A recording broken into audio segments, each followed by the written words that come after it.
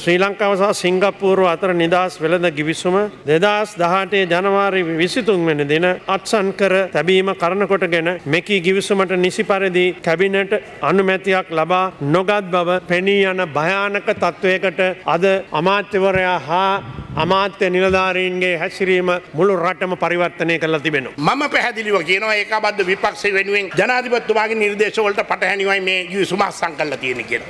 ඒක ගැන කිසිම සැකයක් නෑ. ඒ නිසා ජනාධිපත්තුමාගේ වගකීමක් තියෙනවා. කැබිනට් මණ්ඩලයට එතුමා කරපු නිර්දේශවලට පටහැනිව ගිවිසුමක් අත්සන් කරලා තියෙනවා නම් මේ ගිවිසුම නැවත සමාලෝචනය කළා දෙරාජ්‍යයටම වාසිදායක වෙන නිසා මේ ගිවිසුම සකස් කරන්න. දැන් මේ පරිපාලන ක්‍රියා කරන චාන්දනී විජේතුන්ගේ මැතිනි එහෙම ලෑස්ති වෙලා ඉන්න ඕනේ ආණ්ඩු ක්‍රම ව්‍යවස්ථාවේ 157 වගන්තිය කඩ කිරීම පිළිබඳ බෝඩිමේ ඉන්න ලෑස්ති වෙන්න ඕනේ. මම කවදාකවත් හොර ගියවසමක් අත්සන් කරලා නෑ. කැබිනට් මණ්ඩලයේ ජනවරි 16 වෙනිදා සිංගප්පූර් ගියවසම අනුමත වුණා. ඒ වගේම මට ඒක අත්සන් කරන්න අනුමැතිව ලැබුණා. මෙතුමාලා දැන් කතා කරු ඉස්සෙල්ලා නවවෙන්ද තුමන කැබිනට් තීරණ ගැන. එදා ලැබුණා නිරීක්ෂණ 14ක්. SB ඇමතුමත් හිටියා ඒවා කරලා තියෙන්නේ. ඒ 16 වෙනිදා ඒක ආයෙත් ඉදිරිපත් කෙරුවා. අපි හිටිය නැතුව ඒ නිරීක්ෂණ ඔක්කම ඉදිරිපත් ඇතුළත් කරලා මම දොළොස්වනිදා කැබිනට එකට ඉදිරිපත් කෙරුව පත්‍රිකාව. ජනවාරි දොළොස්වනි. දාසට ඉස්සල්ලාමය නමය කේන්දයන්න මෝඩ කතා කරන්න එපා.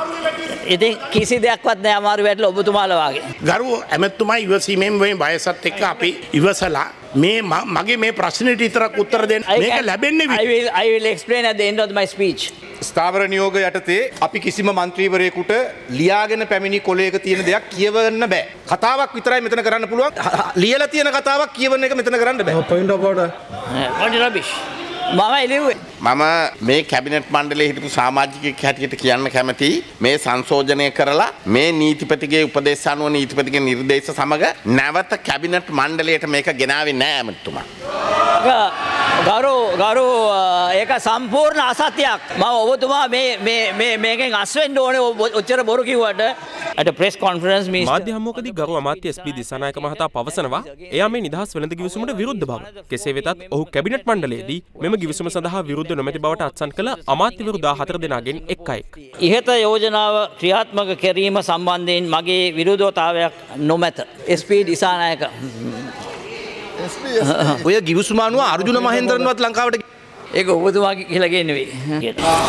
ඔබතුමා අස්සං කළ ගිවිසුමේ දා හත එකොළහා කියන වගන්තිය ඔබතුමා විසින් පිළිගන්නවාද. නීතිපතිතුමා අපිට කියල තියෙනවා there is no impediment to sign in this agreement කියලා අපිට ලිඛිතව දීලා තියෙනවා. නෑ නීතිපතිතුමානේ ගිහිල්ලා උසාවියේ කිව්වේ ජනාධිපතිතුමාට තව කාලේ වැඩියෙන් ඉන්නත් පුළුවන් කියලා. නීතිය ගැන අපි නීතිපතිතුමාගේ උපදෙස් ගන්නේ. ඉතින් එතුමා කියලා තියෙනවා මේ කිසිම impediment no impediment.